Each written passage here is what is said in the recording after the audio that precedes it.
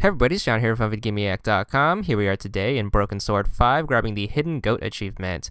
This is to find the goat, which can be gone once you figure out how to open up the keypad and get into the back office of the art gallery. You want to examine it, it's going to be on the left side of the top shelf right here, so just click on it and you should be on your way to an easy yet missable achievement.